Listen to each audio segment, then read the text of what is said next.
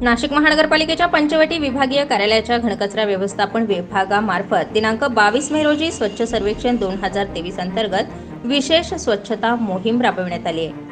घनकचरा व्यवस्थापन विभाग संचालक डॉक्टर कल्पना कुटे यांच्या मार्गदर्शनाखाली विभागीय अधिकारी नरेंद्र शिंदे विभागीय स्वच्छता निरीक्षक संजय दराडे कृष्णाजी नेरकर स्वयंसेवक आदींच्या उपस्थितीत ही मोहीम राबविण्यात आली आहे. पंचवटीमध्ये दिनांक एकवीस मे दोन हजार तेवीस रोजी केवडी बंड श्री म्हसोबा महाराज देवस्थान यात्रा उत्सव दोन हजार तेवीस संपन्न झाले.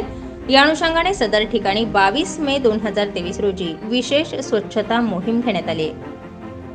हा परिसर स्वच्छ करून कचरा उचलून घेण्यात आलाय. या मोहिमेत अंदाजे दोनशे किलो निर्माल्य नारळाच्या साली पत्रावळी तत्सम कचरा गोळा करून घंटागाडी मार्फत उचलून घेण्यात आलाय.